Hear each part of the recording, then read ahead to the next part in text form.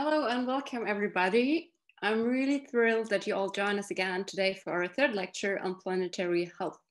And today we're going to explore the field of planetary health ethics. I'm really excited that we have a group of really interdisciplinary speakers today. And ethics is a topic that suits very well into Christmas time as well, the turn of the year, because during these days, people often slow down a little bit, take days off, and reflect over the past month and how they might like to start uh, into the new year. And therefore, I would also do two announcements actually. Because suppose you consider getting more engaged in the topic of planetary health, in that case, you're very welcome to join our International Buddy Program. We launched it last week during, the, during our international exchange meeting, and we're really glad to connect you with other participants from the Planetary Health Academy. If you're interested, you can find more information on that on our website in the section Get Involved. And furthermore, if you like our program, we would be really, really gratified about your donation as a kind of a Christmas gift. The Planetary Health Academy is for free. Still, as an organization, we rely on funding and volunteers. So every donation supports our work towards healthy people on a healthy planet. More information on that you can also find on our website uh, in the upper left corner, actually. So that for announcements, and now let's start. Today, we would like to explore the ethics of planetary health and political action with you. And I'm delighted to introduce Kai Spiekermann to you. On this occasion, also, I would like to thank Felix, who brought you, Kai, into the game. And that's actually my dog, Mia. he might look into the camera sometimes. And as this is a planetary health academy, we like to include like everybody and every animal as well. So Kai, you convinced Felix with your lectures, so to say, at the London School of Economics, and you're a professor of political philosophy in the Department of Government at the LSE. You're working on democratic theory, and uh, you also wrote a book on epistemic theory of democracy. Maybe you can explain to us later what that is exactly. And among others, you're interested in the ethics of environmental change and group decisions, two topics that really fit very well into planetary health. And as a question to start, like out of your opinion, Kai, do you think climate change related issues can be solved by democracies? Or do you think other political systems can handle them much more efficiently?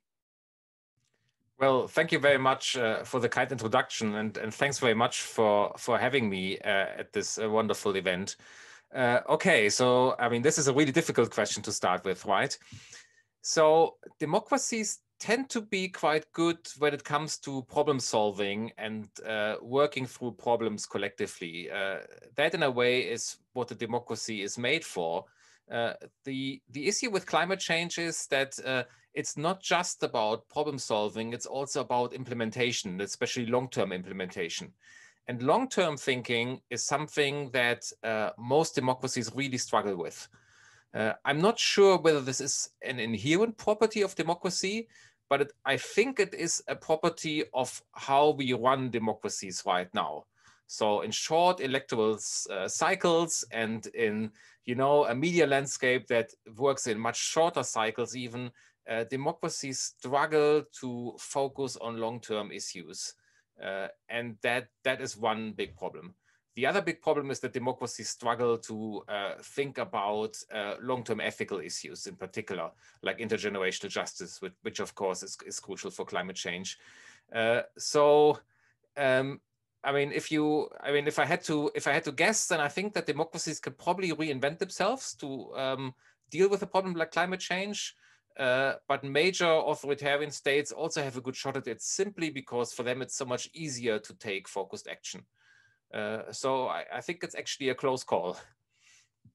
But you're going to tell us still like why it's worth engaging politically, aren't you? In your oh, absolutely, yes, yeah. yeah, yeah. So, so, so that's that's the thought. I mean, I mean, to some extent, you sort of uh, you sort of spurred me on and piqued my interest a little bit because uh, when we first talked, uh, I mean, my philosophy reaction was, oh, I'm going to talk about, you know, the details of climate justice and all the different justice uh, kind of aspects of it. And you said, no, we want something about action.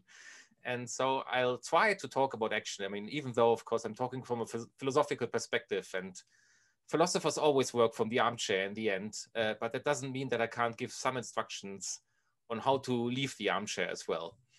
Okay, then let's start. okay, let's let's let's get going. Let me share my screen, and and here we go. So I call this um, um, short uh, talk um, growing our uh, sense of feasibility, um, and I will explain in a moment what I what I mean by feasibility. And ultimately, the goal is indeed to explain a little bit um, how we can sort of increase our space uh, for action by uh, trying to understand a bit better um, what is feasible in this world uh, and how to fight arguments that say, oh, this just cannot be done. This is just not feasible. Um, I will come to the conclusion that sometimes these arguments have their justification, but quite often they're just a piece of political rhetoric uh, that we should really put to the side. Now, um, I want to start with something that is really uh, dear to my heart, um, and this um, is um, um, uh, a novelist. And uh, so here we have him, uh, Robert Musil, an Austrian um, author, um, lived from 1880 to 1942.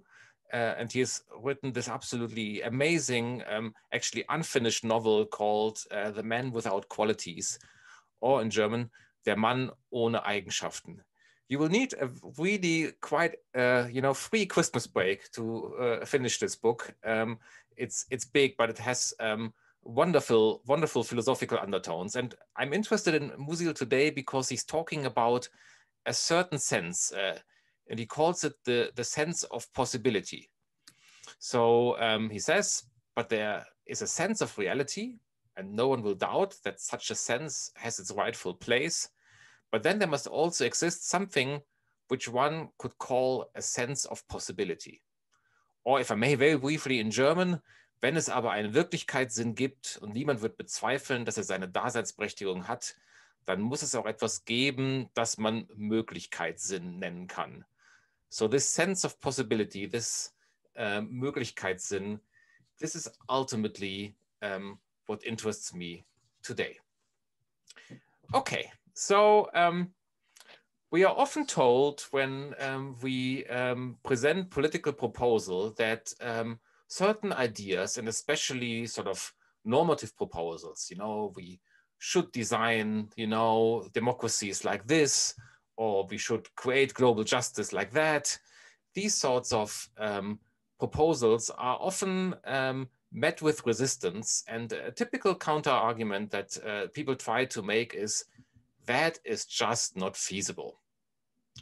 Now, I think it's definitely the case that um, there's something sensible about uh, uh, these sorts of arguments. So uh, for a start, um, we just cannot ask people to do things um, that they cannot do. Um, that would be pointless. So um, if someone asked me to reduce my CO2 emissions to zero by next month, uh, then um, uh, not only would I have to decline, uh, but it's also questionable. Indeed, it's unlikely that I'm actually have an obligation to do this because I simply can't. It is just not available to me as an action as things stand right now. So uh, philosophers like to, you know, give names to things and define things. So let's call this the feasibility argument. So um, it's not feasible, not fe feasible to phi implies that it is not the case that one ought to phi. So in a nutshell, if you can't do it, it's not the case that you ought to do it. The problem is that the feasibility argument is very often abused. So infeasibility gets asserted when there actually isn't much infeasibility. Uh, maybe things are difficult, but something being difficult is not the same as it not being feasible. And there's another sort of more philosophical subtlety here. So um, just because an obligation to perform a certain act, so to phi, um, is void, does not mean that it wouldn't be desirable uh, to bring something like phying into the world. So in my CO2 case, it would be enormously great if I could uh, reduce my CO2 emissions to zero uh, next month. Maybe it's not available uh, for me as an action right now, but that does not mean that it's not a desirable target um, for the longer term, for example. Okay, so um, this is sort of a general kind of overview of the notion of, of feasibility. Uh, just to connect this to climate change a little bit and maybe um, um, the, the global problem that we face here. Um, so many of you will, will know this. So, um, oh, I think the screen sharing has cut off the source, um, uh, but this is from the Climate Action Tracker. And uh, what we can see here is our uh, historical CO2 emissions. Aha, there's the source. And um, you can uh, also see uh, the current policies and what is projected in terms of warming, namely a warming between 2.7 and 3.1 degrees Celsius, uh, based on sort of middle of the road uh, scenario calculations. Uh, the current pledges and targets bring this down a little bit, 2.6 degrees. If you then include the net zero targets that have recently been announced, um, then we might get to 2.1 degrees if we're lucky. We're still quite a bit away from the targets that we really need to reach. Um, something like 1.5 degrees Celsius is what we really want. And one interesting question one can ask here is, is it really feasible uh, to make uh, these sorts of cuts that would be necessary? And I will try to argue today, well, I mean, it may well be very difficult, um, but uh, we should resist the argument that it is just not feasible. The next conceptual point I want to make is that feasibility comes in degrees. Uh, that's important to realize because many people might mean different things when they talk about feasibility. So imagine um, this sketch here as sort of an indicator of um, um, how far uh, we are from the current world. So let's say the actual world is here, and the more you go outside into these spheres, um, the further we are away from the current state of the world. It's maybe easiest to start from the outside. So um, at the very sort of outside edge of our feasibility conception is everything that is feasible according to the laws of logic. Uh, so that's a really wide uh, uh, conception of, of feasibility. Uh, a second conception would be if you also add the laws of nature, constraining your feasible set a little bit more. Uh, another conception of feasibility arises when um, you add the fixed aspects of human psychology. So what does this rule out? So for instance, assuming that people are entirely selfless. Uh, so people are basically angels or so. So that's out and then our sort of feasible set uh, reduces a bit further. Um, or you also add current preferences, current norms, current background institutions, and then you get an increasingly narrow um, feasible set. And depending on what precisely you assume here, you can really you can really make it quite small. And again, my point will be, um, yes, you have to find a sensible notion of feasibility, but don't make it smaller um, as you really have to make it, because otherwise um, you sort of kill your ambitious projects uh, right from the start. So that, uh, that would be bad. So here are some bad feasibility arguments. A really bad feasibility argument is, it is unlikely to happen, therefore it is not the case that I ought to.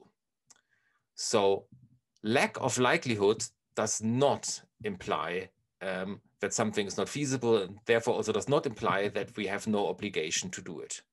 Or even worse, I do not have the willpower to do it. Therefore, it is not the case that I ought to do it. Uh, of course, that's also equally implausible. So just because I don't have the willpower to, don't know what, um, bring the rubbish out this morning doesn't mean that I can't do it.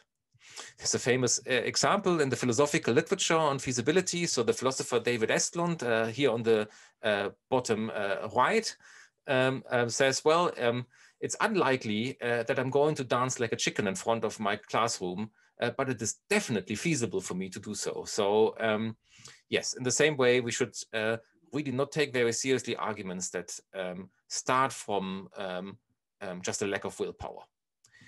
And of course, you can see that this is also relevant for uh, many of our uh, important life projects, like maybe uh, going vegan or committing to less air travel and so on and so on. All these things um, are uh, difficult and we need a lot of willpower for it. Um, and it might also be the case that they are unlikely to happen, um, especially if you don't have the willpower. Um, but just because something is unlikely to happen or because it's hard does not mean that we don't have an obligation to do so.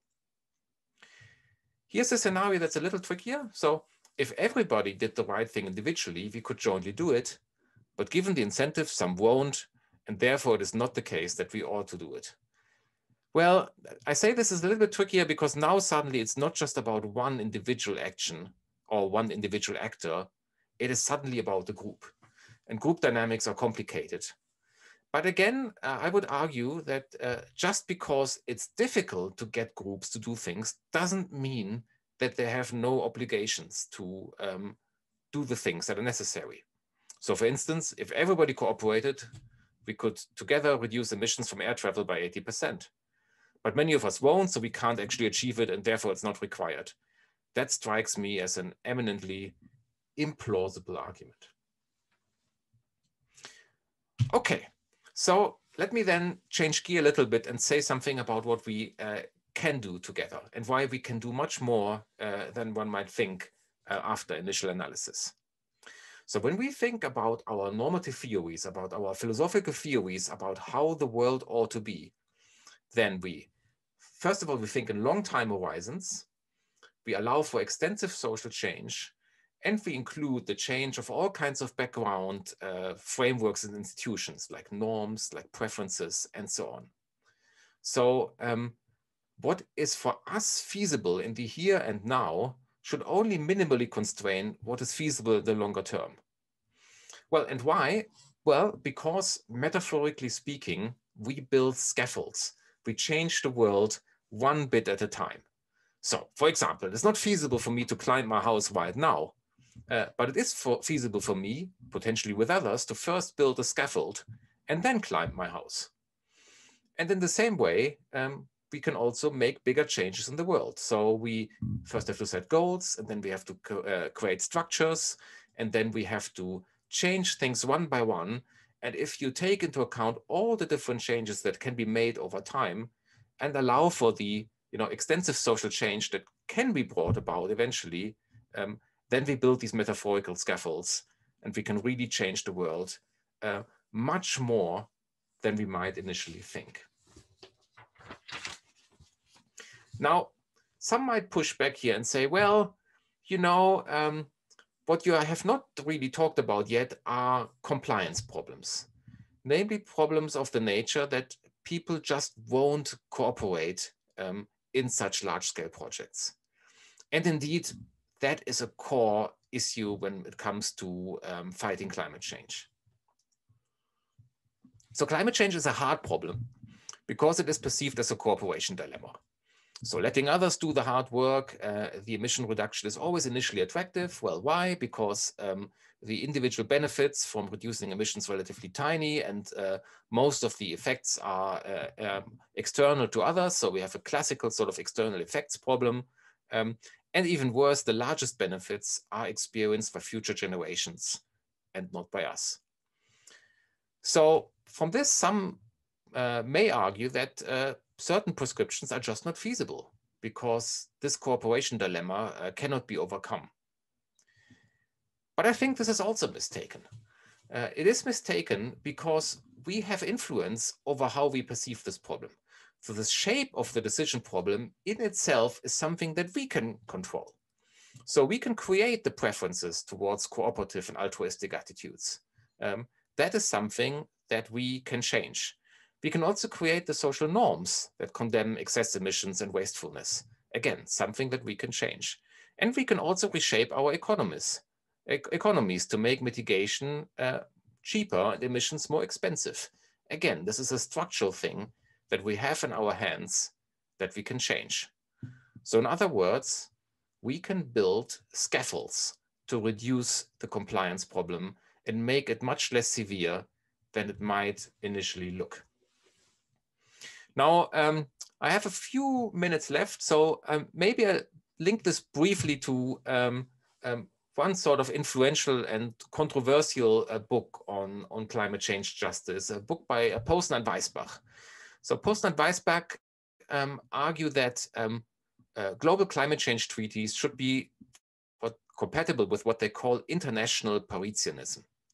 So they say, and here quote, uh, any treaty must satisfy what we shall call the principle of international Paretianism. All states must believe themselves better off by their lights as a result of the climate treaty. And then they say, and that's of course interesting now for me, feasibility rules out the vast redistribution of wealth that many believe are morally required. Well, at this point, I'm sure you already know what I'm going to say. This is just a really terrible feasibility argument. Because why should we accept an unwillingness to go beyond Pareto improvements as infeasibility? It just doesn't make much sense. So let me then say a few things about what we can do to change the world. Some of these points will be fairly obvious, um, and others uh, maybe slightly less so. Um, although in the end, I mean, since you're all thinking about how to change the world, um, none of this will totally surprise you, I believe. So first of all, we can persuade others of the urgency and the ethical requirement to reduce emissions. And uh, those people who have persuasive power uh, and can uh, influence others have a special obligation to do so. Secondly, when individual action fails, as it often will when you deal with something so big uh, as climate change, you should take the necessary steps to form a group agent and act as a group agent. For instance, uh, a planetary health academy, right? Um, so form a group agent and get organized. Third point, change social norms so that excess emissions just become socially unacceptable. So our whole world is shaped by social norms that uh, determine uh, what is acceptable, acceptable, what is not acceptable. We can achieve something similar in terms of uh, greenhouse gas emissions.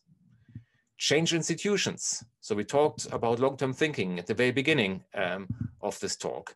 Promote institutional global cooperation.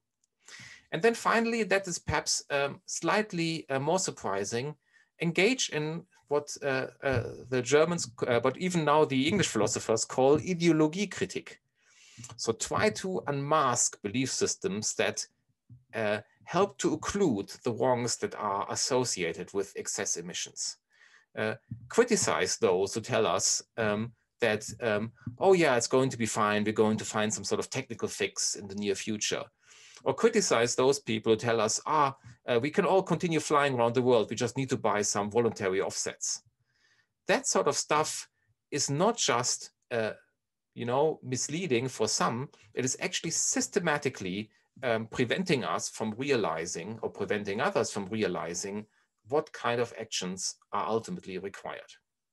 And also criticize the framing of the problem in purely rational, competitive, uh, or monetary ways, um, because that uh, makes us fall back into the compliance problem.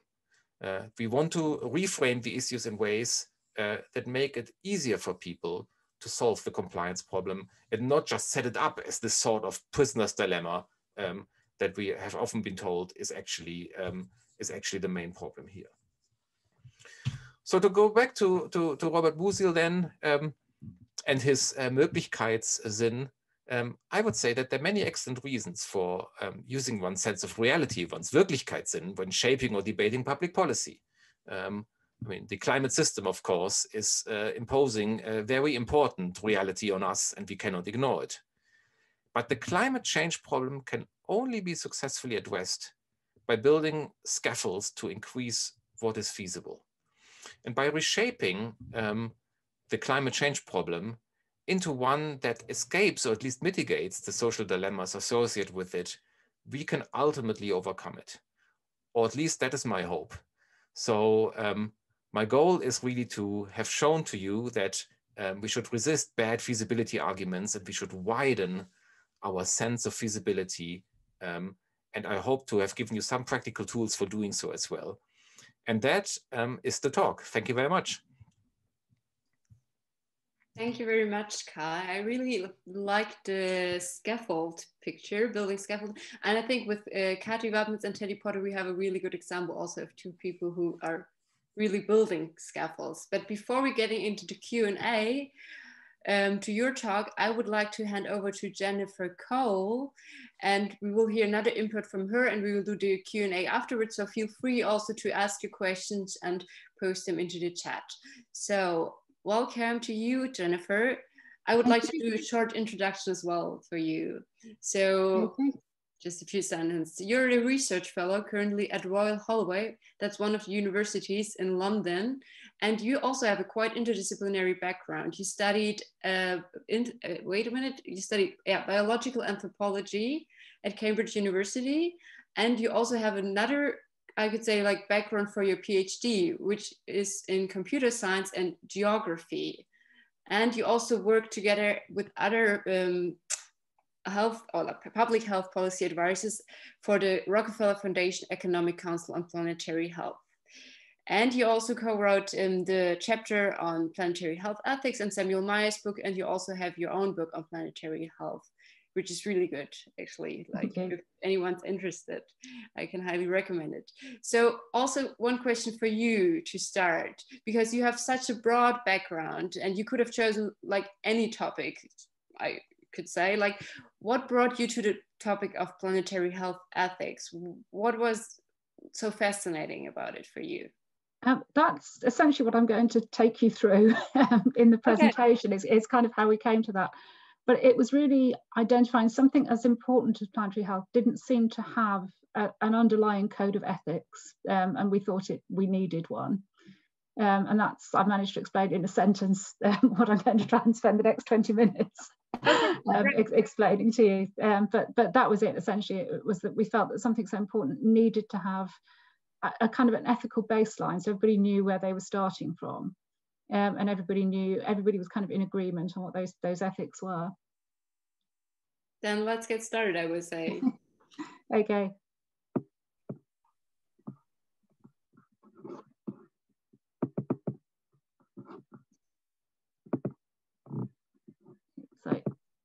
Okay, can you all see that?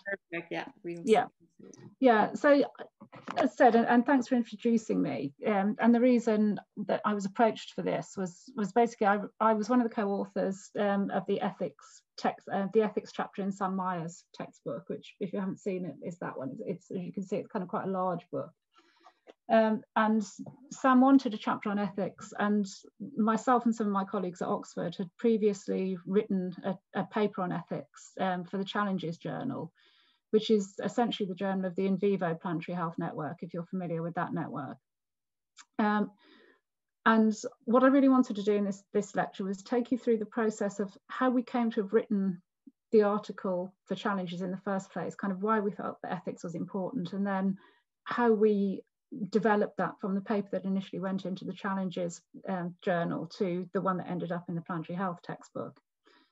So if I, I'm not quite sure why it's not moving on. Yes, so I'm not going to give you too much of an introduction to planetary health because obviously you all know what it is, um, but it's a reasonably new field. Um, and obviously when new fields emerge within academia, they tend to have different groups that come from different backgrounds. Most of the people involved with the, the Lancet part of planetary health tend to come from a public health background. We're seeing increasingly people coming from environmental backgrounds. So the, the Wildlife Conservation Society recently had the, the large conference in Germany. And there's also the In Vivo Network, who also tend to come from perhaps sometimes a more spiritual and perhaps arts-based background. Um, and you've probably again seen this diagram from Sam Myers, but one of the things that Sam identified in planetary health is these the mediating factors. You can see the, the blue um, squares on the diagram. And the, these are basically things that mediate planetary health. So you have governance, wealth, philosophy, culture and behavior, technology.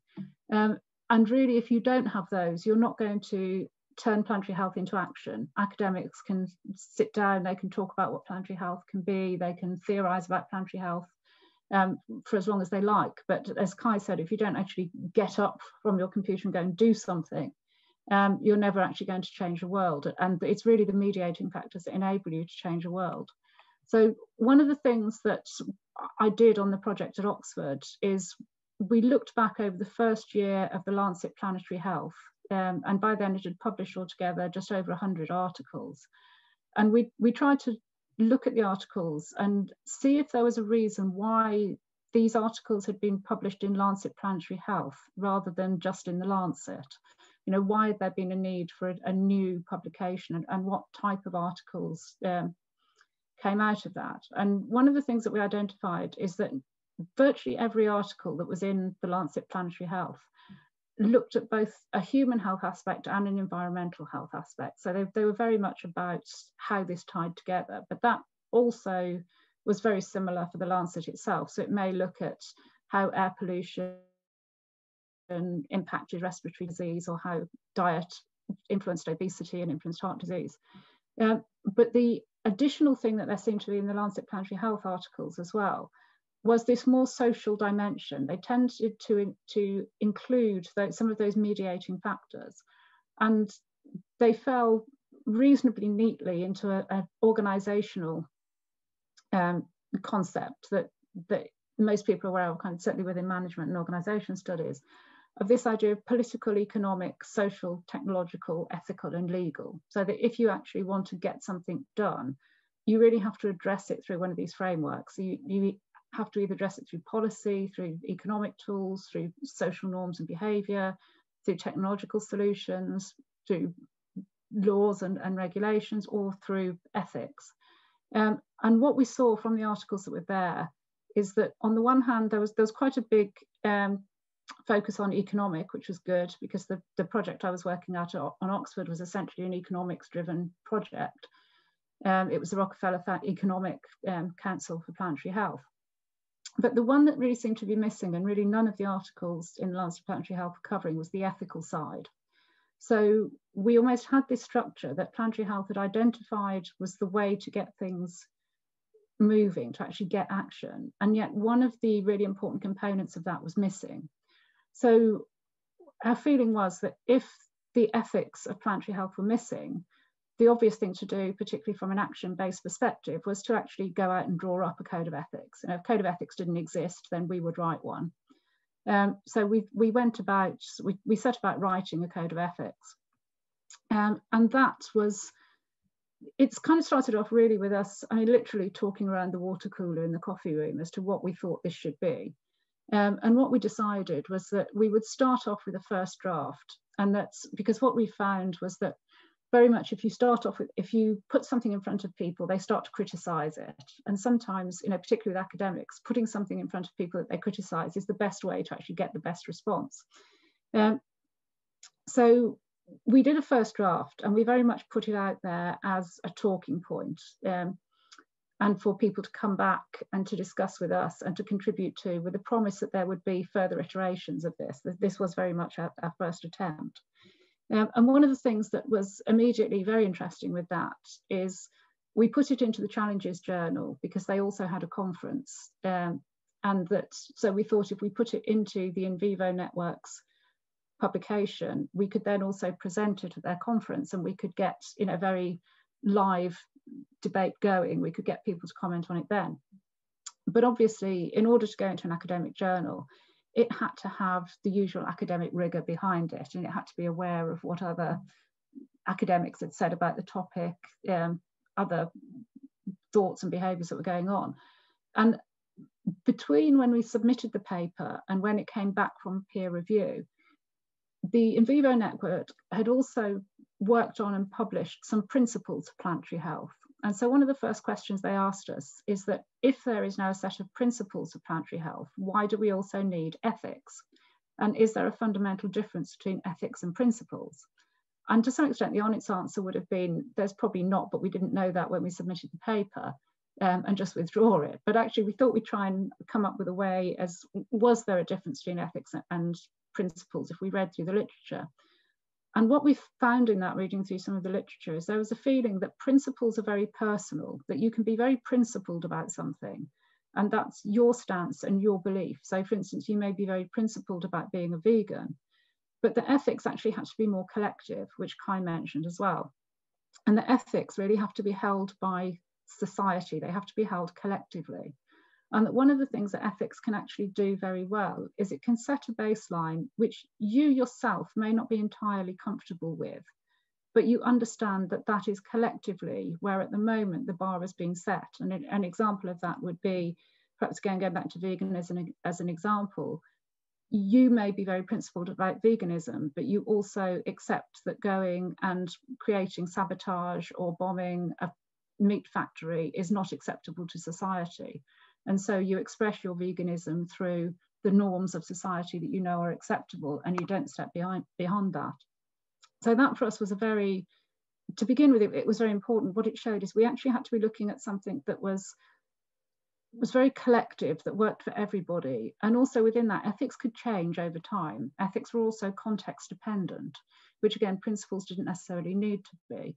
Um, and so that what was considered to be ethical now may not have been considered ethical 100 years ago and may not be considered ethical in 100 years' time. And something that struck me very much about that when we then presented this paper at the, the In Vivo conference is that the conference took place in Detroit in the, head, in the headquarters of General Motors. And I actually felt extremely uncomfortable as a planetary health academic presenting a conference in the headquarters of a company that was arguably one of the worst polluters of the world. And, and I actually did kind of raise that, that I felt very uncomfortable about that. And that whether in 100 years time that would be something that we would have to address now. You know i'd rather have it on paper now that i felt uncomfortable with that than have that questioned in 100 years time. We saw recently in the uk with the black lives matters protests in a lot of uh, cities um, statues were pulled down of people who'd been involved with the slave trade because at the time although they were philanthropists they may have built civic buildings and civil schools the industries they're involved with is no longer ethically acceptable for them to be literally put on a pedestal. Um, and I wonder whether in 100 years' time, this will be the same with companies now, such as General Motors, that there will be a, an ethical backlash against even the history of those companies that is very dependent on the context. Um, and so the ethics were both collective at the time, so they went beyond the individual at the time, but they were also very time and context dependent. And we had to be very aware of that. But we did come up with a set of ethics. Um, and we chose to have, you know, we had to decide how many ethics we were going to have and how we were going to kind of order and structure these. And we went for a 12 step program for Earth, is what we uh, initially we called it, the, the 12 step program for Earth. And there were really two reasons why we chose those, that 12 step program. Um, and the one was that 12, you may be aware that the, the idea of the 12 step program is something quite often comes from addiction. It's used by Alcoholics Anonymous, it's used by drug rehabilitation groups. Um, and it's really these kind of 12 steps to recovery. So it, it was about something that was damaged, something that was broken that had to be repaired. So we liked it from that point of view. It's also very much about change. The, the 12 steps of these drug rehabilitation, alcohol rehabilitation programs actually come from the ideas of alchemy, the Middle Age, which was a, a Middle Ages esoteric movement that was very much about change. It, it's quite often only remembered now as the idea that the alchemists could change base metal into gold. That was never actually meant to be a literal translation of what it was. The idea is that you could take something that was worthless, something that was kind of clumsy and lumpy, and you could turn it into something better if you nurtured it and really understood it and, and saw its value. Um, and so that this idea of the 12 step program, we, we felt really spoke to those. It spoke to this idea of changing something, of making the best of what you had and making something better, and also of repairing and recovering from something that was damaged. And also the, the other reason that we took that was that the Lancet itself, um, when the Lancet did its review on planetary health, it, it came up with these three ideas, sorry, which were imagination challenges, which is can we really conceptualize the scale of the problem? Is, is this sort of something we can't even imagine? Which again would go back to some of Kai's ideas around feasibility. Um, and then if we could imagine it, did we know enough about it? So did we have all the data that we needed to move forward? And then if we did have all the, if we could imagine what it was, we had all the data we needed, how did we then implement that? And one of the things that the Lancet um, Commission identified was that the implementation challenges are really where we have the biggest issue. It's where we're struggling the most. Um, and the project that I worked on at Oxford was actually meant to be part of that implementation. It's coming up with an economic toolkit that incentivizes the solutions that will, will solve the problems. Uh, so we, we had really three key headlines within the Lancet with a 12-step program, which allowed us to put four ethics under each of those three headings. So we came up with 12 ethics under each of those three headings.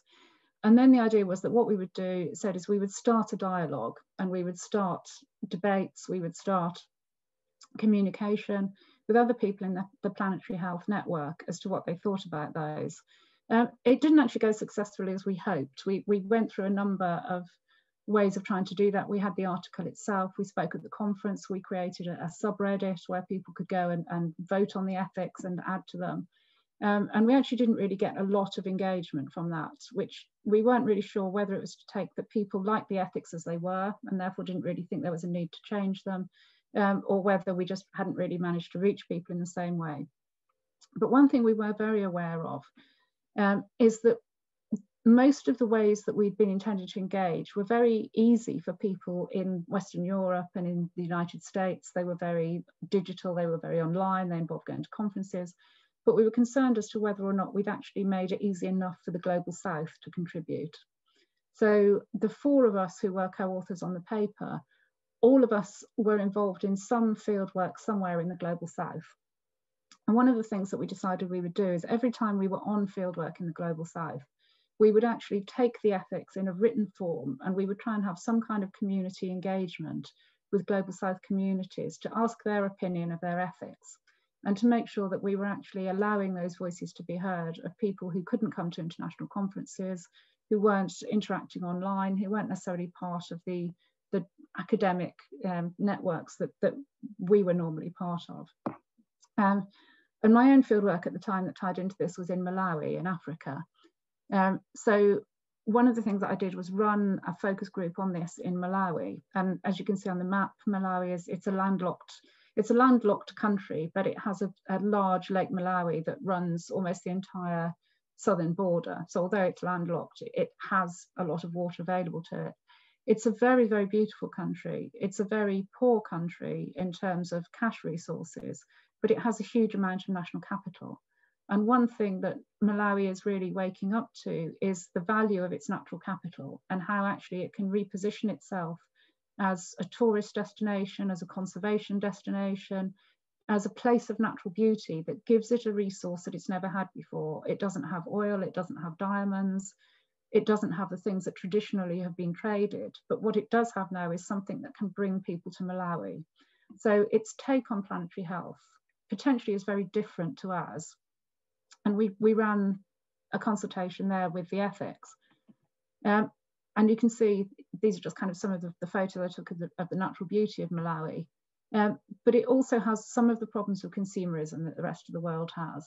You know, it's starting to have a lot of recyclables, but also because it doesn't have good energy infrastructure, there is a lot of incentive to actually have small solar power panels in the villages, to actually have renewable energy sources that are off grid. Um, there's a lot of recycling of clothes there. A lot of recycled clothes from the West go to Malawi. Um, and so that there is a lot of, of sustain, so a lot of the sustainability is actually tied up within recycling, reuse of materials, sorry, and more sustainable consumerism. So one thing we were interested in is could you actually encourage the sustainability and reusability right from the beginning without actually going through some of the, the most damaging parts of the consumer development cycle. Um, we were staying in a, an absolutely beautiful mountain lodge and the people that we engaged in the consultation process were largely the, the mountain guides who'd been working as their local research assistants on the project. They were really acting as guides and translators and drivers um, but they knew the area very well. They were involved in some of the conservation projects itself. So they, they were really the people who this was affecting at, at ground level. Um, and one of the things we asked them to do, we got them to rate the ethics and to say which ones they thought were the best and which ones they thought were the worst. And it was really interesting, not only which ones they picked, but the reasons that they picked them. So if, if we look at the best ethics, um, I won't kind of read them out in, in general, um, but one of the ones I really liked was this idea that humans were custodians of the planet, not masters. And actually, we had to look after it and make sure that we didn't damage it and passed it on to future generations in the way that it was left to us. Um, and that's, you know, the idea that future generations had equal rights was very, very important to them. And that was particularly from countries that hadn't always been equal on the world stage themselves. They often felt they hadn't had equal voices in international treaties, in international discussions. And so this idea that we were looking at, at equity, not only now, but to future generations, went down very, very well. Another one they really liked um, was that it had to be a way of living that people would engage with. and that you this wasn't again something that was just kind of strategic and that it, it was put into government documents as a nice idea it actually had to be practical. We had to look at how this would affect people on the ground and how could they actually live with this day to day? And if they couldn't live with suggestions that we were making day to day if we couldn't change tomorrow without significantly disrupting their way of life it wasn't ethical to do it. And that's been really interesting in some of the work that I've been doing over the last year with wet markets. There's been an enormous call to shut down wet markets, particularly because they were seen as, as perhaps one of the drivers of the COVID-19 pandemic. In the areas of Assam in India where I work, if you shut down wet markets, people would have nowhere to sell their produce and they would have nowhere to buy food.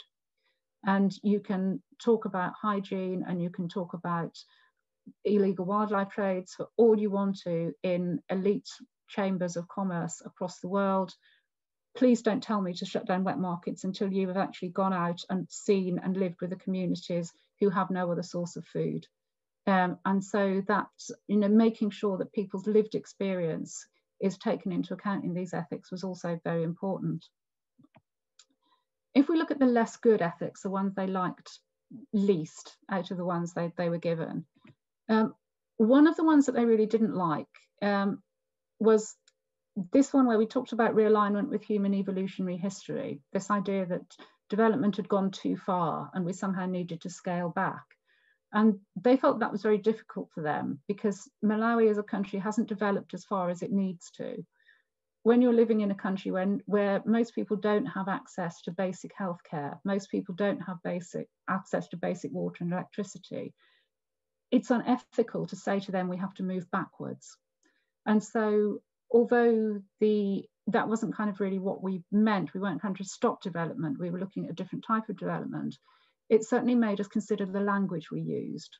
So the human evolutionary history was more about considering what environments we evolved to live in. And so the type of food that we have evolved to eat, the type of physical activity we've designed to have, the, the family groups that seem to be ingrained within us.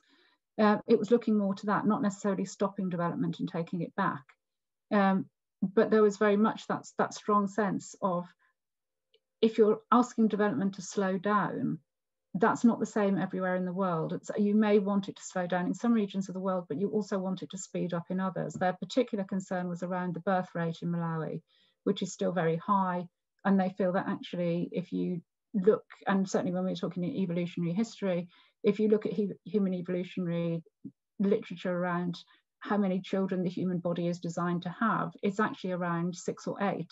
And there are actually health implications to not having six or eight children throughout your lifetime. But actually, we don't want that. You know, there, there are good things to development, one of which is we no longer have to have six or eight children in order to ensure one or two of them grow up to look after us in old age. We only have to have one or two children to ensure they're still alive to look after us in old age. Um, and we have to be aware of those kind of issues. The other one that they they didn't like so much again was really this idea of equity and accessibility. And it, it wasn't so much that they didn't like it but they didn't really believe that they would have an equal voice in this. Um, they again felt that it was it was all very well and good for us as global north researchers to come and talk about equity and giving everybody a voice at the table. Um, but in actual fact that wasn't really what people you know often did in practice and one of the things they did really appreciate is the fact that we'd come to them. And that meant that we could talk to a large number of them. And they said, and I'd heard both from them and from other people at, at planetary health conferences and African researchers at planetary health conferences, that they sometimes felt that it wasn't really fair that they were asked to come and speak at a conference in the UK or in Germany or in USA, which meant that they just got to talk to people. What they would much have preferred is that everybody had come to them. You know, if 10 of the top planetary health scholars went and held a conference that 2,000 Africans could go to, that to them was better than them getting the trip to the US where they could talk to 500 Global North scholars. Um, and so again, some of this idea of the, the innovation and the future and the, the shininess of the world and, and, moving everybody towards that didn't really gel with their reality. Um, and they wanted to make sure that if we were talking of issues of equality, what actually that equality was and how they fitted into that. So what really all of that came to is after about kind of process of two years of talking to various people, talking to focus groups, talking to other academics, and the process of the, the handbook itself, we did a new iteration um, of the handbook and, and, we actually, I say we dropped, it, it wasn't really our decision to drop it, but the, the idea of the 12 step program got dropped from that. And it was really so that we could consolidate things into to simpler headline messages, I suppose, to take away. Um, and we really, we, it ended up with five, and these were the, the five headline takeaways from the chapter, which was very much intergenerational responsibility. And you know that was very important because that had come through so strongly from the Global South workshops that that was really the one that was so important to them. Um, and also then this idea of more than human rights, that this wasn't just about the, the rights of the of human beings, it was actually to the, the right of the environment. And, and you've seen this in some of the legal um, challenges, particularly in New Zealand, to the, the rights of rivers and the rights of national parks, that they they actually have, you know, the, the, the park has a right to continue. And again, this is something that's been very important to me in my work in India, because what we're seeing is that the, the common grazing grounds of some of the villages not only provides free food for the animals, which allows the farmers to be able to keep and raise animals, not only for meat, but more importantly, perhaps for milk and eggs that, that they eat every day. Um, because they don't have any outgoings so that they can keep those animals. And if you take away the common grazing grounds and they have to buy in commercial feed, they may not be able to afford to anymore. Um, but also that keeping those common grazing grounds provides ecosystem services as well. It provides good drainage for the rivers. It provides green and blue space. It provides shade. And so actually looking at the rights of the environment holistically and perhaps protecting the rights of the common grazing grounds by definition also improves the health of the animals that graze on them and improves the health of the, of the people who live in those farming villages. And this really comes on as well to the third one, which is distributive justice. We have to actually make sure that what we're doing is equally fair for everyone. And it's not just driven top down by governments, because very much, as I said, in India, the, the top down government drive is to close down wet markets, to have more hygienic butcher shops. But what this doesn't take into account is there are a huge amount of people in India who live in villages where there is no electricity. And so that if you close down wet markets and you expect people to buy from hygienic butcher shops, that involves keeping frozen or chilled meat in refrigerators, which neither the butcher shop has nor people have in their home. And you can't actually change one part of the system without taking into effect how it affects everybody down the line. So I think that distributive justice is very important when, again, it's quite often the, the, the bars are set both by global north researchers or politicians in very developed countries or within developing countries by socio-economic elites who sit in ivory towers in cities and don't necessarily go out to the rural regions, that you actually understand what life is like day to day for the people this is going to impact. The other one that came up um, that I think is probably very relevant at the moment with COVID is a precautionary principle. If you're not entirely sure what damage something is going to do, assume it will do damage until you prove it doesn't um, rather than just waiting and seeing what happens. Um, we don't know exactly what damage a two degree centigrade rise would do to the planet, but it's actually probably better we don't find out. Um, we don't want to, things to go wrong and then have to scale back. Um, so let's actually think ahead of the, the consequences and we can tie that to intergenerational justice. Try and actually, if we project ahead as to what life might be like, right down the line, right down to those rural villages, um, by the changes that we could instigate now, let's make sure that we don't instigate some of them. And the fifth one was it was the right to know. And that was actually, if after all of this, everything is going wrong, and there's we can't save parts of the planet, and there are going to be areas that become uninhabitable, let's actually be honest about that. And let's actually try and work ahead as to how we're going to deal with that. One of the interesting things with areas of the world if you look at the impacts of climate change, is there are some areas that agricultural productivity will go down dramatically. There are other areas of the world, such as Canada and Russia, where productivity will go up. But there's a huge swathe of the world in between that it's not going to affect quite as much.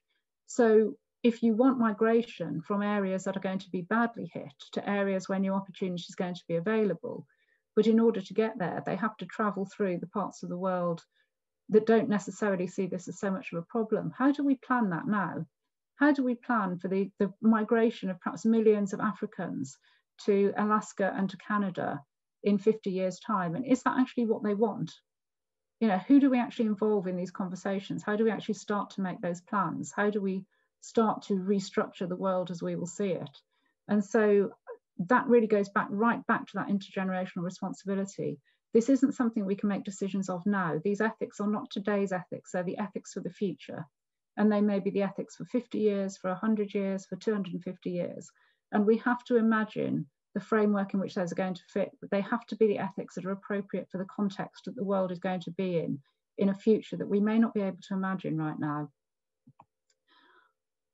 I'm just going to end with, as I said, although we didn't get much response from Reddit, it is actually still there. Um, if people want to go and start commenting on it now, there's nothing to stop you. Um, we will, there is potentially going to be more iterations of this as time goes by. Um, so please do. And also, if you want to run your own focus group, I can send you the, the documents to do that with. We deliberately designed it so that it can be done offline on paper with boards and chalk and stones. Um, it can be done online as well. It can be done anywhere you want. But if you want to look at those ethics and perhaps look at them in light of the new ones as well, and feed back to us, this is an iterative process, and we see this as a constantly iterative process. Um, and that just finally is my contact deals, details if you would like to contact any of me about this. So I haven't necessarily solved the issue of ethics, but hopefully what I've done is given you some ideas to kind of take away and to understand how ethics need to fit into this. Thank you.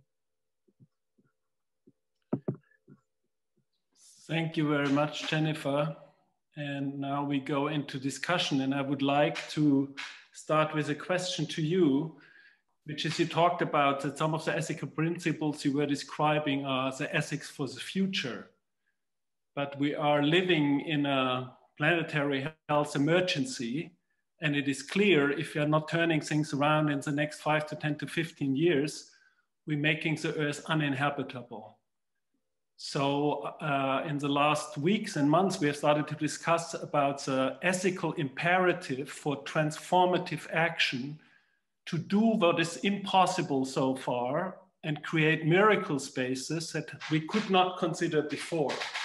So to really go beyond our rational minds and understand the emergency we are in and stepping out into the open and saying it is possible that we will turn it around. We know it is improbable, but it is possible, and that's where we are acting from. So, and I think there is this question of the long-term ethical principles, which we have to somehow also consider today.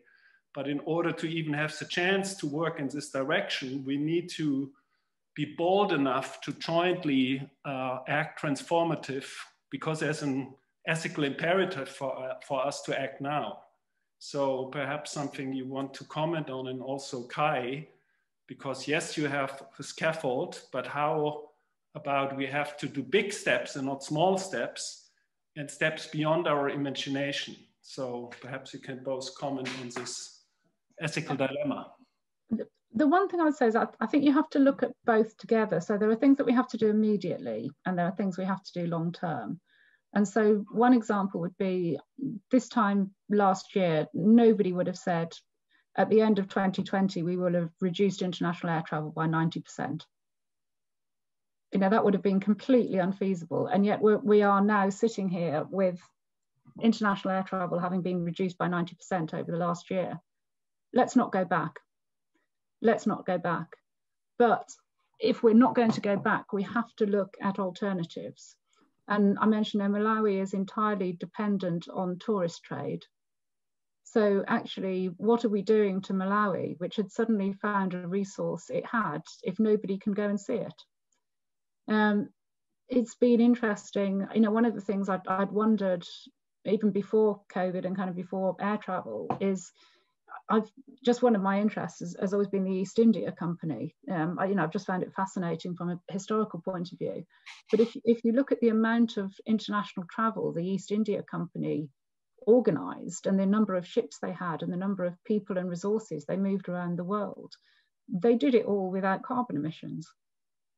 Um, and so you know, can we go back to wind-powered sailing ships? You know, is the technology there to do it and, and to, to move in the same way? Um, and actually, in terms of it, it may take longer, so it may take two weeks to get to America rather than 10 hours on a flight. But actually, we now have the technology that we can work while we're traveling. So, does it particularly matter if it takes us two weeks to get there? Um, you know, usually going to, going to a conference for three days would be because we can't take two weeks off work to go to a conference, but actually we don't need to take the time off work anymore. Um, and so move back, there was a, a, wonderful line came out of the, the World Conservation Society conference uh, last month, which was um, the world not as it was, but as it could be. And that that kind of really struck me as this this is we we almost have a blank slate. The world has paused, and there are some things we we should not bring back. And are we fighting hard enough to look at what do we not bring back rather than scrambling to get back to normal so everybody feels a bit better? So I, I think there are those are the immediate quick fixes of let's not go back up to the levels of air travel. But long term, how are we planning for the countries that are so dependent on the tourist trade? To the people who actually really like to have two weeks break to completely detox after a year of working really, really hard. Um, what is the future? You know, what is the future of these industries? And I think that's why it's important to actually try and imagine what the world will be like in the future and perhaps on, on the timescales, on 10 year, 50 year, 200 year timescales. In 200 years, the population of the world could be a third of what it is now through nothing other than a social norm of the next generation deciding they only have one child, you know, each couple only has one child. Um, and you know, so are we are we encouraging some of these social norms enough um, and kind of looking towards how we will get there, as well as actually, you know, making things, changing things very much now, changing car. It's it's say it's unfeasible. You know, it is feasible that I could go out and buy an electric car tomorrow.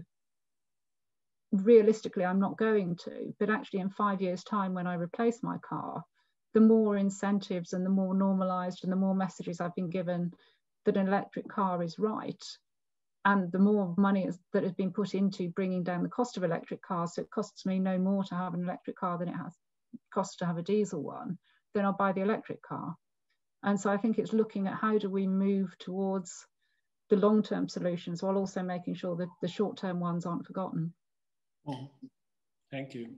Kai, I actually would like to give you the same question, but since you're a political philosopher, I also would include as part of the boldness to transformatively act is also to reinvent democracy on the way, because there's not an option to go uh, kind of in autocracy or dictatorship to, to for the reason.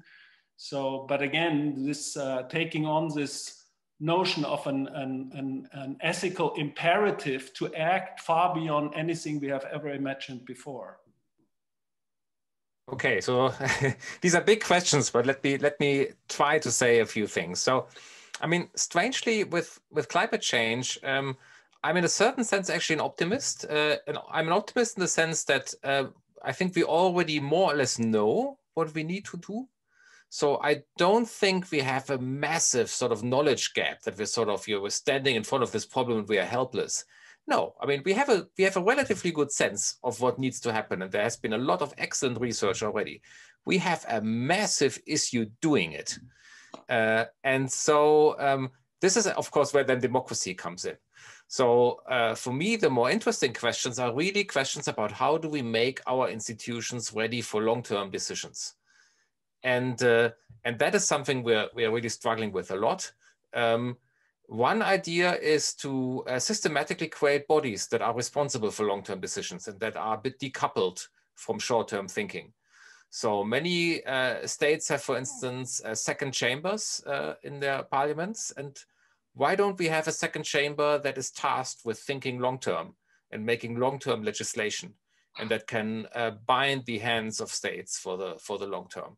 That would be um, a very creative idea, I think. And uh, uh, another thing that we could do is we could have some politicians um, that don't need to be re-elected, sort of, you know, older stateswomen or statesmen uh, that maybe sit on these bodies that don't care anymore about the next electoral cycle, that now have the task to do to do long-term planning. Uh, that's one idea um, of of the many things that we could potentially do to um, make our democracies uh, deal better with climate change. Uh, but yes, I mean, in principle, in principle, I think we really just need to get to work and uh, do some of the things that we already know need doing. Thank you very much. So per perhaps, Sophie, we take one or two questions and then uh, I would suggest we move on to the presentations of uh, Teddie and Katie to kind of find at the end and discuss together, kind of because this is all connected to each other. Sophie? Hannah, yes. Hannah is it today? Thank you. Yeah, thanks for so many perspectives. Um, I'll hand some on some of the questions from the audience. So one to both of you, um, how much is it a philosophical obligation to get people into action by ethical arguments? So to what degree is a perspective reasonable saying, if we get people to move into the right direction, is that an argument or even maybe any argument um, would be worth um, spreading? I don't think you have an obligation all the time to argue all the time. I mean, in a liberal society, no one is under constant obligation to uh, proselytize. Uh, and that would be counterproductive.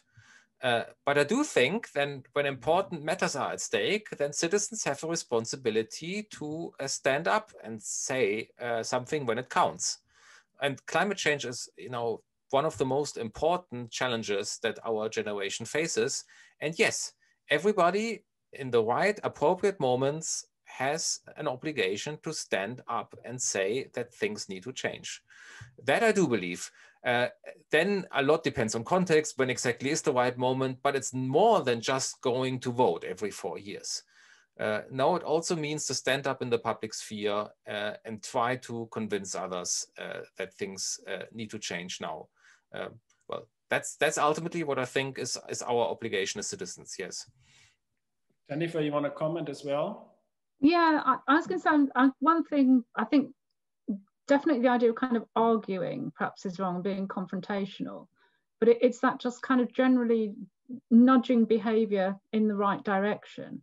So, and again, you can see how that's worked. Certainly in the UK now, at, although there haven't been any conferences in the last year, but at conferences now, all of the catering is quite often vegetarian you know, it's almost society has moved that it, it's not really acceptable anymore to have red meat at conferences.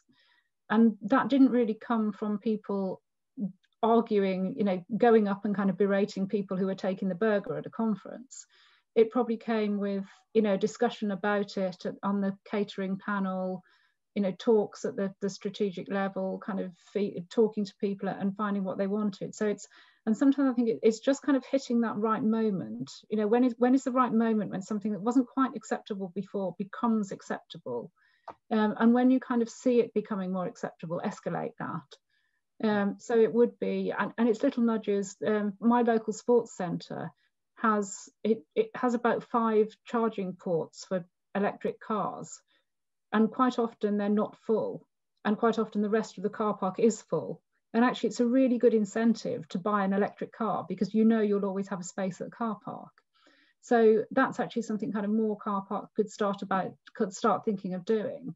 Mm. You know, and, and it's just those kind of little nudges that and it's you know there is the immediacy. We have to do things quickly. But thing the more things are embedded as normal practice and seen as that definitely the kind of the society's norms the, the quicker that process of change will be. Which is underlying one of the concepts we had before is that it is very important to increase your sense of timing so when is the right time and where are the right windows of opportunity because if you have a good awareness of these you can your bold action can actually lead to nonlinear positive results whereas you can be very active in many respects and just uh, always kind of arguing the same thing and not moving forward yeah. Yeah, and I, I think very much we mentioned, you know, I completely agree about the short termism of elected governments.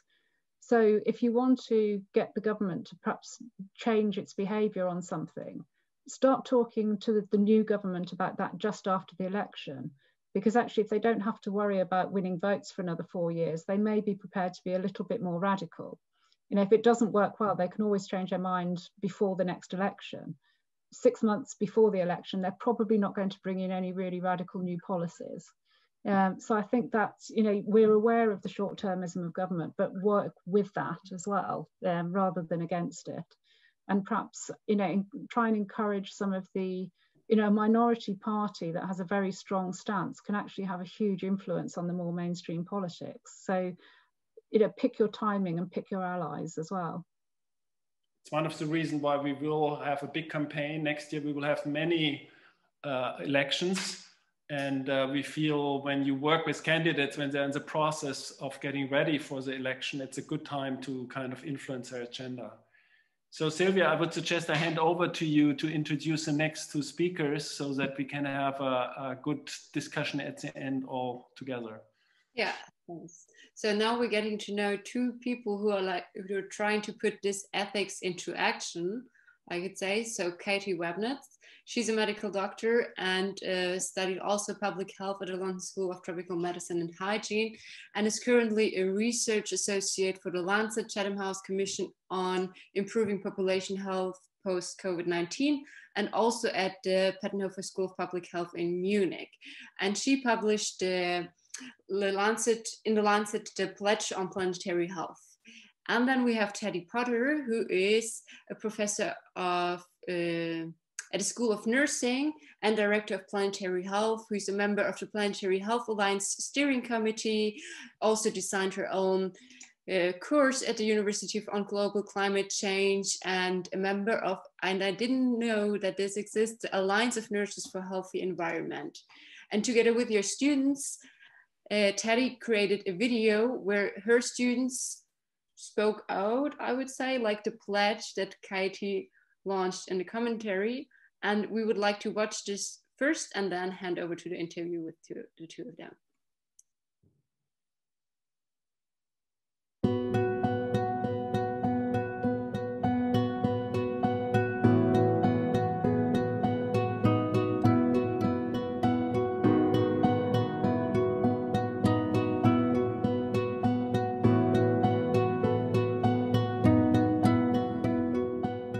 Solemnly pledge to dedicate my life to the service of humanity and to the protection of natural systems on which human health depends.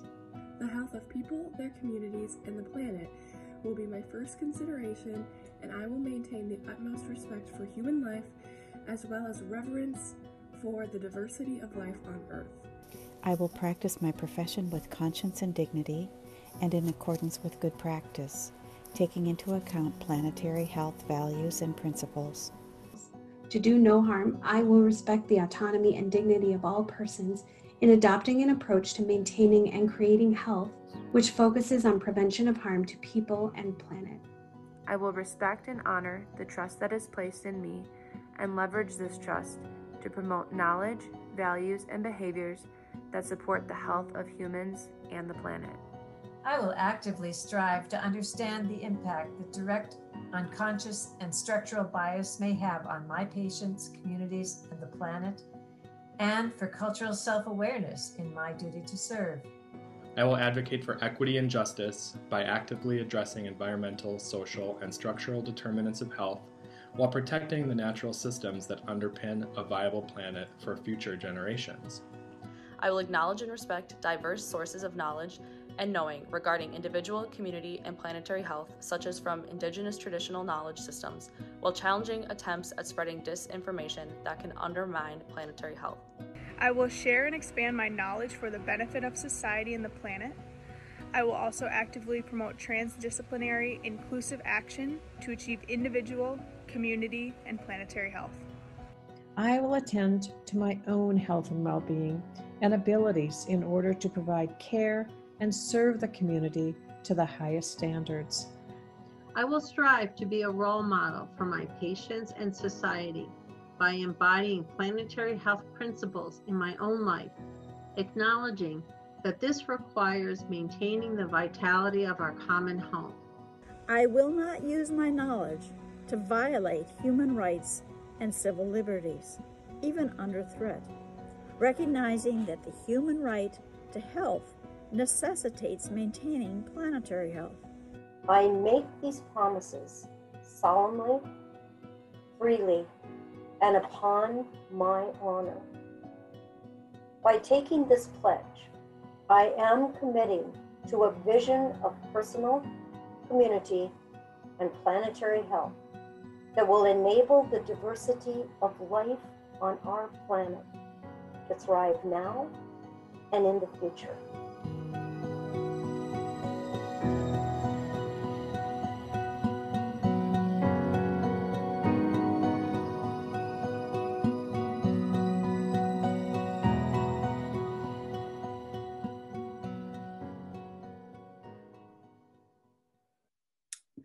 Thank you very much for sharing it. So maybe we start with you, Kathy. So how did all this started? Like when did you decide that we need to change our ethics in medicine and how did you end up with creating this new kind of oath? Yeah. Well, first of all, thanks a lot for having me here to, tonight. I'm really thrilled to be part of the panelists this time and not just with the audience in the Planetary Health Academy. Um, and yeah, to answer your question, I, I'm a medical doctor by background, as you said. And part of my graduation ceremony was to speak, uh, to recite the Declaration of Geneva, um, which is based on the Hippocratic Oath for medics, um, together with all of my colleagues at yeah, the end of our studies, really. Um, and that was a very emotional and very powerful experience for me because it really felt like making uh, promises that will kind of accompany me through my whole professional life and beyond as, as a doctor. Um, and then uh, over the last yeah couple months, two years, um, I more and more entered the field of planetary health and developed the passion for it. And um, yeah, at some point I started thinking about the fact that actually I felt as a doctor, the Hippocratic Oath that I took does not really meet what we need to do as health professionals in the Anthropocene in the current times to address the planetary emergency that Martin mentioned. Um, and this is really, I think, how the idea was born to to um, to kind of update the Hippocratic Oath, so to say, um, and also develop um, some kind of tool to help bring about the transformation that we that we need um, and use ethics for it. So yeah, I think that's the origin. And during the process, what kind of difficulties do you encounter? Did you encounter, and what kind of even like happy surprises as well, like to both sides? Um, well, I think the first, uh, the most happy surprise for me was actually that when I wrote this first email to my now co-authors, um, that they were all immediately on board and kind of excited about the idea. Um, although they didn't really know me before as a person or whatever, but um, yeah, so that was actually for me, I think the the most surprising step in the whole process. And then after that, um, the most difficult thing, I guess, was to kind of organize ourselves um, across different time zones. But this is also the new normal now. and we also got used to it um, since uh, one of my co authors is on the Philippines and Teddie's in the US. and I'm in Germany. So we really worked across the globe, um, had meetings. And yeah, in the end, as with all publications, um, you just have to have at some point decide that you're going to put everything together in one concise draft, really. And um, I guess that worked out quite well.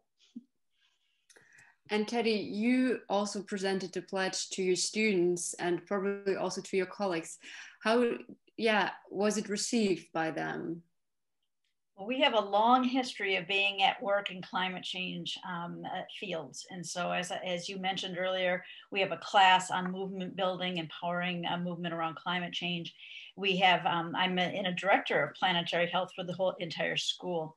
Um, we also have a curriculum that we've embedded in all our health sciences. So all our physicians, nurses, pharmacists, social workers, um, dentists, veterinary medicine students receive information about climate change. So we've been on this journey for quite some time and um, our students are already activated, our faculty are already activated. So when this pledge came out, um, it, it, didn't take a lot of arm twisting or convincing that this is, we, we, we need to take this move. So it happened very quickly and we were able to pull it together probably within a week after the, the publication was released. And so beside doing this video, to a question to both of you, how do you how could you live these ethical principles also in your work, in your daily work as a nurse or as a medical doctor? Got. Yeah. um,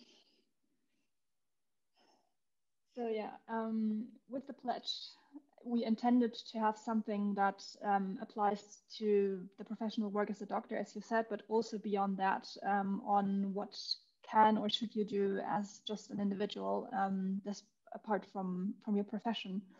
Mm, and I think one one aspect that I would like to highlight is that, um, particularly in the medical profession, we should shift from from the focus on healing really to the to having a focus on actually preventing preventing harm before it occurs, prevent disease before it occurs. Um, be because if we manage to do that, we not only prevent harm to individuals, to people, but we can also prevent harm that's being inflicted on, on the environment, on the planet. For example, by recommending people certain types of diets um, that are better for their own health and also better um, for, for, for the natural environment. So in nursing, we don't traditionally practice according to a pledge. We practice according to a code of ethics, which is quite, quite complex, but covers a lot of different fields. And one of the principles in our code of ethics, principle 9.4, revolves around social justice and health policy. And it calls us to acknowledge that human life and, and health are profoundly affected by the state of the natural world that surrounds us and that we must be involved in environmental degradation, waste, other environmental assaults that disproportionately affect the he um, health of the poor. And nursing um, as part of a profession that restores health, prevents illness and injury, alleviates pain and suffering, must do so in the context of healing the world. That is right in our code of ethics. So we are ethically obligated to practice in this way. And when some people say, Teddie, you're a professor, are you still a nurse? It's like, yes, my patients just keep shifting. So it started with the patient in the bed, then patients' families, then whole communities as a public health nurse, then ill organizations as somebody working with uh, changing our healthcare system. And now I'm nursing the planet. It's all nursing. So when you ask, how do we integrate these two pieces? It's part and parcel of our profession um, to, to care for the earth, which is absolutely interconnected with humans and all life. And so the pledge is like, uh, to speak in the, the metaphor of Kai, one kind of scaffold, but probably to reach the top of this scaffold, you need more scaffolds to reach it. So what are the next steps? um, that's a good question. So I think from my perspective, from what I know that's going on, um, there will certainly be more videos produced by other groups um, and organizations similar to the one that Teddie just showed. So, so I think one aspect is to um, get it out, get it to more people, use media, social media um, to just make more and more people aware of it. Um, and then another uh, line of action could be, or will hopefully be, that um, the pledge will actually be used at graduation ceremonies, just as mine with uh, the Hippocratic Oath. I'm envisioning people taking this pledge upon their graduation um, from medical or nursing or any other um, school, or even um, along their professional career there's it's never too late to kind of take the pledge so it's not restricted to graduating from uni but you can actually do it at any point and i'm hoping that we can um, yeah um, trigger these kind of ceremonies to really take place um, all over the world. Um, and then another thing that's um, on my mind and that i'm hoping we can spark is actually having an amendment or um, a re reworking of the current Declaration of Geneva um, and to actually see what we've written in this planetary health pledge also being reflected in, in that declaration, um, which then applies to medics specifically.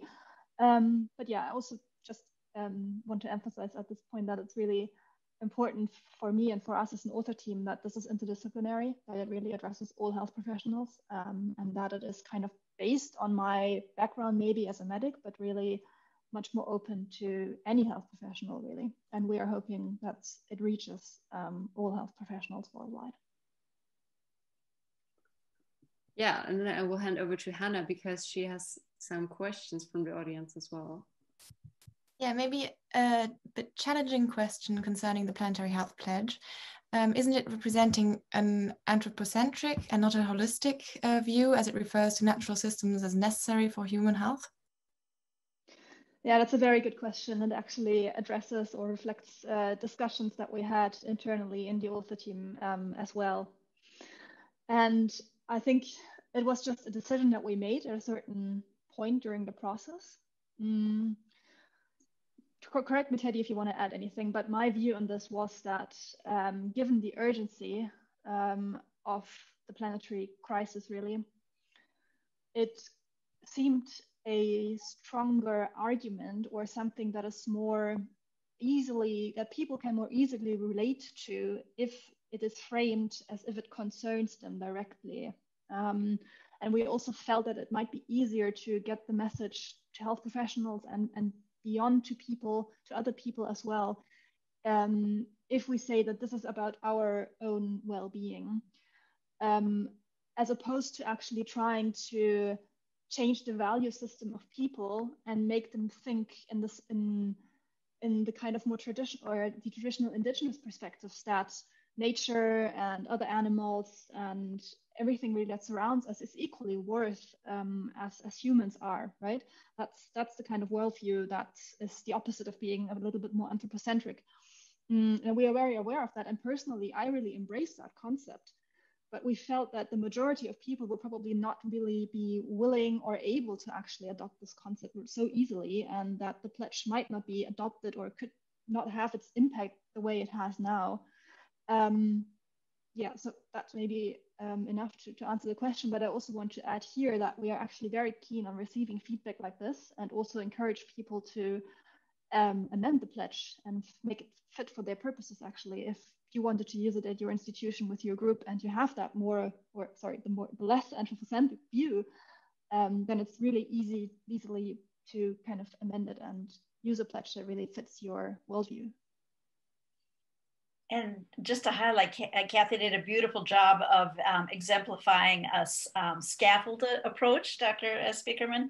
Um, you've given us a new piece of language, that's very nice, um, in that the pledge in its current form is a step that helps people take the next step.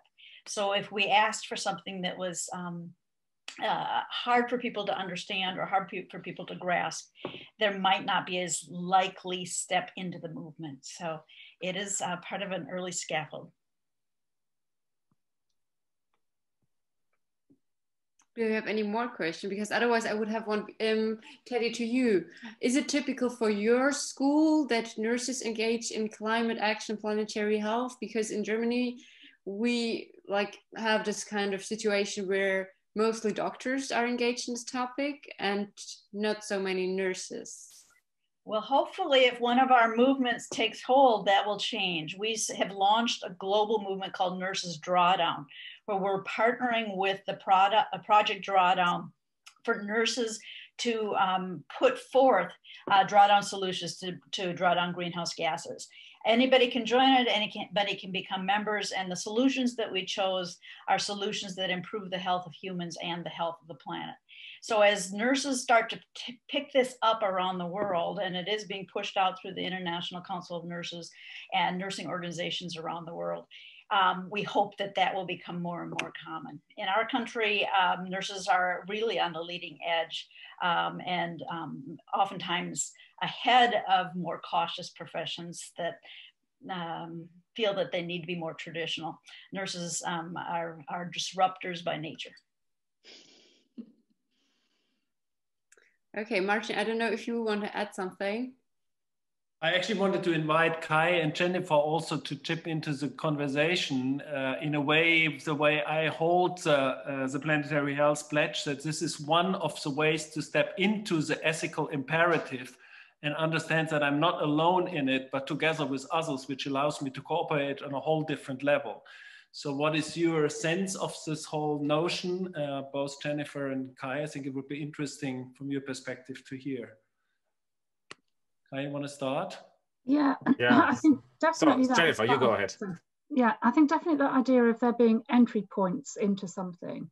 You know, don't think you're going to get people to become in a kind of absolutely dedicated from day one, just kind of pull them in gradually. And I think then the more people you pull in, the more others around them see that behavior. And we're, we're seeing similar things in the discussions around the, the COVID vaccines that actually maybe don't be too worried at the moment of the people who are vaccine hesitant because some of them may be genuinely worried if there are side effects and the more people around them they see getting vaccinated who don't experience side effects the more they realize they have nothing to worry about so again i think there's there's that ripple effect and and again perhaps going back to kai's concentric circles diagram um, people may not go right into the center to start with but just kind of start to bring them in from the edge and try and shrink the edge um, and I think the more entry points that people can see, the more they understand it. And the more they can see something that, that kind of speaks to and relate to them, then the easier the job is going to be. Yeah. Hi. We have this we have this idea in philosophy, it's called common knowledge. And common knowledge is created when everybody sees everyone saying something together. And that's incredibly important because uh, we all know that we all know and we all know and so on and so on. And these pledges they, they do exactly that. Um, so i think they they they are really the seed for a new norm emerging. It's terribly important that this is a public pledge that everybody is pledging together and that everybody's understanding that everybody else is pledging and that's really powerful. I think this this can really change thinking. Yes, I mean, of course, it's on its own, it's not enough, and it cannot also possibly cover every possible ethical aspect. Uh, that was my thought when I heard this discussion about anthropocentrism. I think it's a great question, but I also think it's asking for too much. Uh, so you know, do one step at a time. I mean, this this is a really kind of nice symbolic way of trying to change our thinking, and I think it's a wonderful idea. Yeah, super impressive. And I think it's just one example of many steps that are being taken in the German health sector in the last uh, six months. And you see many medical societies. I think in the broader public, it's not understood that something is building under the surface. And we, mm-hmm. when we as medical, uh, as health professionals step out and go into the public and talk publicly about it, we will create common knowledge that can be a game changer. I also invite Sabine to involve yourself into the conversation. She, together with uh, Katie, Jennifer, uh, no, no uh, Teddie, and me and others have been uh, co-authoring the, the pledge. So whenever you want to comment, please do. Um, yeah. I think I would like to give a last question, maybe because I know Teddie needs to leave and I don't want to bring her into trouble. Also, like, what made you, like, out of the things that you heard during the last 90 minutes, what made you optimistic that we will create planetary health in the time needed? So that means, like, in the next five years, hopefully. Um, I, I, was always optimistic, um, even though uh, I really appreciate the conversation about feasibility. Um, I, I, also am a systems thinker and a transdisciplinarian. So when you uh, study systems, you realize a teeny little shift can sometimes transform the entire system in unpredictable ways. And so what gives me hope today is seeing all of you, seeing that right now there's 602 people on this call and that there's movement building in this area. So thank you for including me and inviting me. And as um, Sylvia said, I'm afraid I need to sign off for another, another call, but um, con congratulations to all of you who planned this event. And thank you for her, that you were here and joined us as well. And thank you for your work. I think that's uh, to say to everybody actually here on the call. Yeah, Jennifer, or Kai, or Katie, what do you also even Sabina and Martin. I, I have a question to Kai actually. Um, with the scaffolding, I, I really like that thought and also with this feasibility and enlarging it and so on. And to me, it seems like a mixture of um, concrete steps. Like you also mentioned some ways how we could actually change our institutions and so on. And at the same time, it's a bit like a different North Star like the goal setting like the imagination where do we want to go because like the way you mentioned the scaffolding was also to make something possible that before was not possible which is also in our mind it's not always a practical scaffold where you step on it but rather and I, I, I'd like you to comment on that aspect because I'm still puzzled a bit. Yeah, I mean, I'm also still thinking this through, but uh, but yeah, the idea is sometimes by reimagining um, um, situations, we can also change them. So I find this very striking uh, in terms of what we see as this kind of cooperation dilemma in climate change. I mean, we always think about it in terms of an economics problem. Uh, because, I mean, very helpfully, I mean, I think that economists have, you know, made really important contributions to this field but they also taught us to think about the problem in a very specific way that essentially always looks like a dilemma, some sort of prisoner's dilemma or something similar. Um, but there's absolutely nothing that tells us that we have to think about it this way because we could change our preferences. And if our preferences change, then it's no longer a prisoner's dilemma. It's something uh, much more benign. So for instance, if we had really more altruistic long-term preferences for us and the future generations to follow us, I mean, we would not be in the situation where everybody thinks, oh, how can I sort of, you know, uh, do the minimum while um, others uh, try to do the mitigation action. That would all radically change. That's just one, I think, small example of the way how we can reimagine problems because ultimately, um, I mean, the physical facts are out there, but how we conceptualize it, that, that's all happening in here. And uh, there's a lot of change possible. And that has a lot to do with our ethics that has a lot to do with our ethics. So we did not systematically talk about the climate ethics today, uh, but ultimately we would have to do that as well. We would have to have a conversation about um, how do we deal with this problem globally. So um, we talked about the individual ethics, and Jennifer did that. But then I think at some point we also need to talk about distribution globally. There's a global justice question here as well. Uh, but I think that's for another time.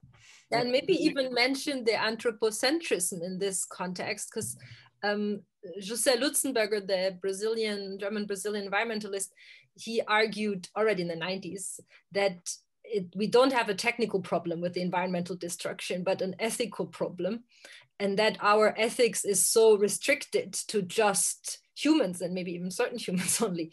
And, and we leave out the value of nature, of any non-human life on the planet. And that's why we're doing all these mistakes because we don't value them properly. And, and I don't mean this in an economic sense of valuing. Um, yeah, so. I was reading last week in, uh, in Die Zeit, a German large uh, newspaper, uh, an article which was reframing the whole thing. They were pointing to we don't have a climate crisis, we have a humanity crisis, and also you call, could call it an ethical crisis because our current ethics are leading us towards destroying the platform on which we live. And this is what we really have to shift. And if you follow this thread, it's really important that for all of our work, we make the ethical thinking and reflection and embodiment a key cornerstone of all what we do. And I, I, I really thought it quite surprising that in all the articles, the ethical argument had been in the Lancet Planetary Health has been so weak. So I think it's really something where we have a, a huge potential shift because once you put it on the ethical grounding, the economy, economics are just one perspective. They are not the key thing because at the end of the day is what we are believing in what should what is the right thing to do that should guide our actions and also principles and laws and so on and so forth. Yeah.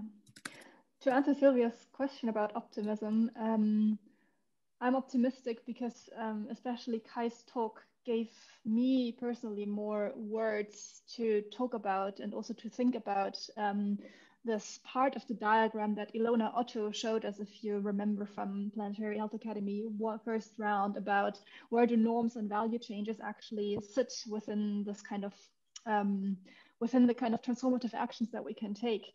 And yes, it takes it might take longer to actually change norms and values, but if we manage to do so, this is actually the most sustained, the most effective change that we can that we can trigger basically. And also now in my work for this Lancet Commission, where we are trying to think about where where are the leverage points in the system um, to affect changes. I personally do believe that norms and values are kind of even more underlying than changing governance styles or changing the economic system. No, it's actually the norms and values that drive these two aspects. And but and yet it's so hard to to grasp these and to also um, know or kind of have ideas as to how we can actually achieve that, have these like large scale societal norm and value changes. And both Kai and Jennifer gave me personally ideas for that. And so this is great. Thanks a lot. And I think a great thing with the co corona crisis is that a lot of people have started to ask questions that they haven't been asking for a long time. And many of the normality has been questioned. And it's also, we are now going into Christmas time, which is a time to step back and reflect and to start new things. So I hope for all of us that we will have many, many conversations around the Christmas tree, which are also uh, kind of reflecting who are we? What is our life about? What can we do, but do it from a peaceful place and not just from a fighting place.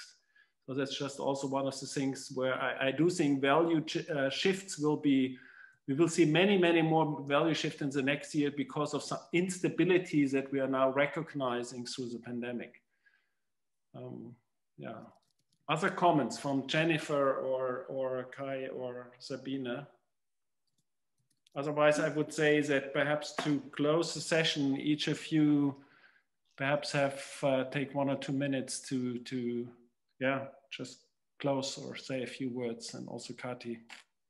I was, I was just going to come back on your point. I, I think one of the things that we really, perhaps kind of COVID 19 has made us do in terms of stopping and thinking about what the world is like, is this idea of is the world what we wanted it to be?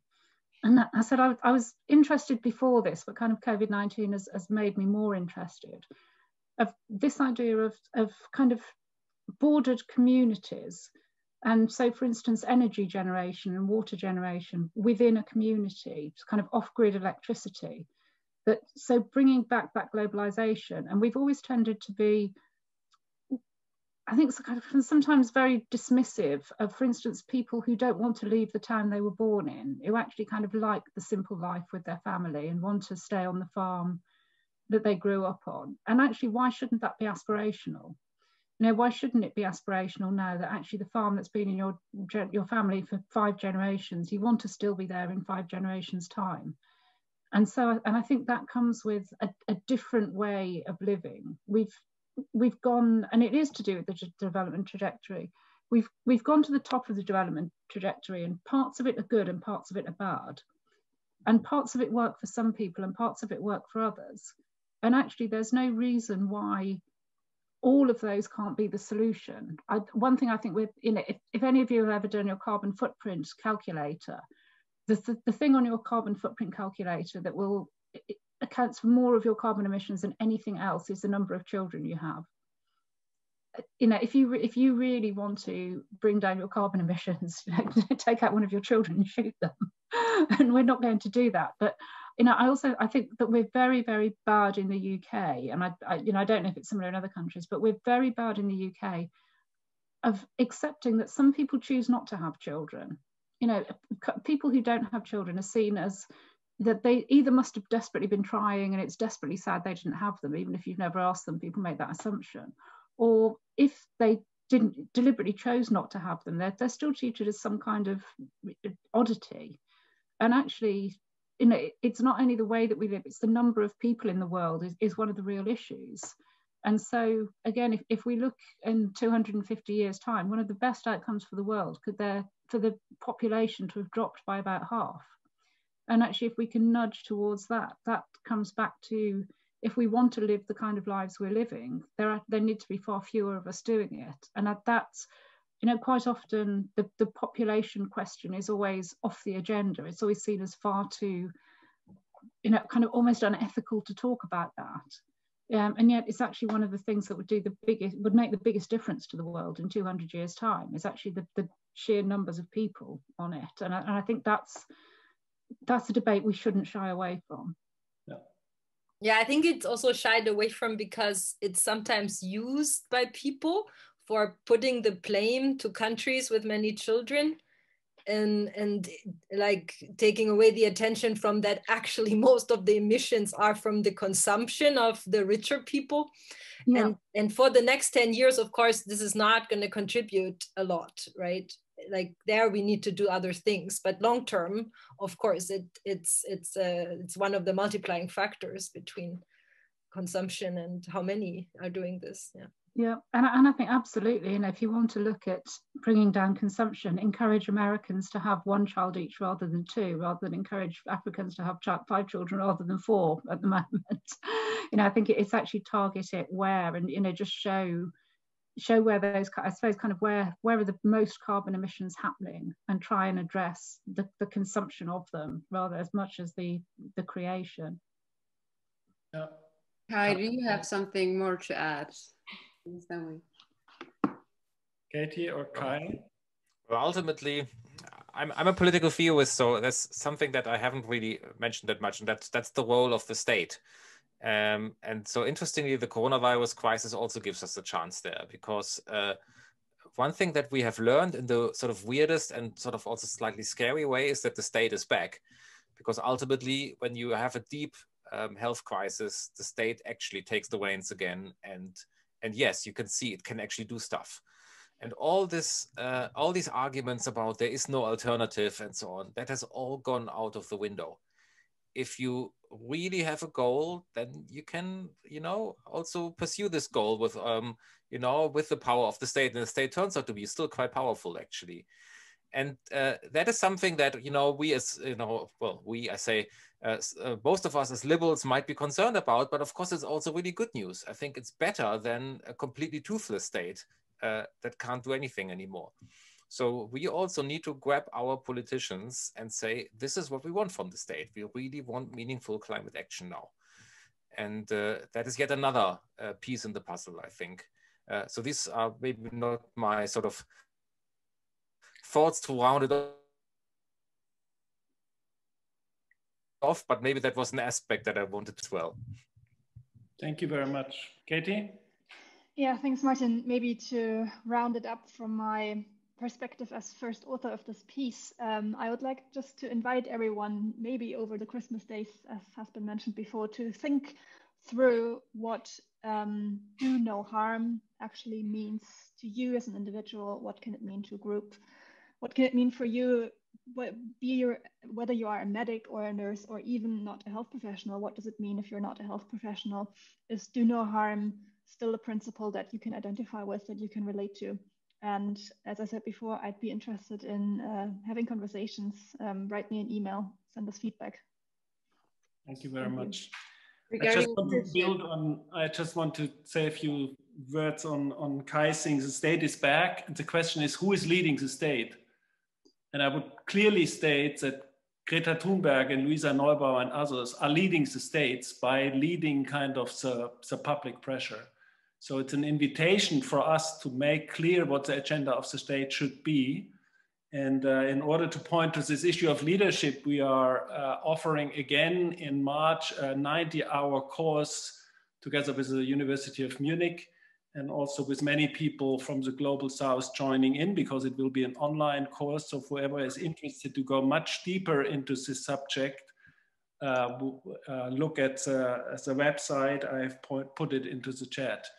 Uh, but I do think it's very important that we learn about what it takes to influence power structures and the states in a way that they are, we are nudging them into kind of the right direction. And uh, this is a, a, tradition of the For Future movement, and we are part of the For Future movement. So it's one of our key kind of uh, uh objectives for the next year, also in the election, that we are playing a strong leadership role in this direction. I'm glad you mentioned that, Martin, especially that we didn't say much about power in this discussion so far and the vested interests in, in the game and so on. So like to, to realize the power of the ordinary people to shape the rules so that they're actually advantageous for the majority and for other life on earth instead of a small minority in the short term only. And it's an ethical obligation to grow up and kind of face the vested interests that are standing against what we are believing needs to happen. Yeah. So this uh, this is not a, a minor task; it's a huge task to grow up in this. And I also would like to add because the next session is going to be on two topics that one has been mentioned quite often already during this talk the global south. So we're going to have at least one speaker um, he's Francis Kuria. Martin, maybe you can tell a little bit more about him. Actually, he's the head of the religious leaders of Africa. And uh, he has been working on, on climate issues. For example, he has been a key person in making sure that the Lamu coal plant is not being built. So he's an activist also, and is also very interested in the subject because he saw that many of the conflicts in Africa are directly related to climate change and kind of the planetary health crisis. So this is the things he's interested in. They have been participating in the Eastern African uh, Planetary Health Hub, and they have also joined the Eastern African Planetary Health Hub, and he will uh, join us in the next uh, session in January. And together with him, we're also focusing not only on the global south, but also on women empowerment, because that's another really important aspect when we talk about planetary health. And there we're going to have Courtney Howard, who's an emergency uh, doctor from Canada, and she's also very engaged in the public planetary health community and also uh, candidated for the Green Party in Canada this year. So she can also share with us like many of her experience. So we're looking forward to you joining us for the next session as well. We wish you a Merry Christmas. Have a good start into the new year and have a good time thinking about all the ethical topics that we mentioned today and maybe even have a glimpse into one of the readings all of the speakers suggested. Thank you very much. And thank you to the speakers as well for joining us.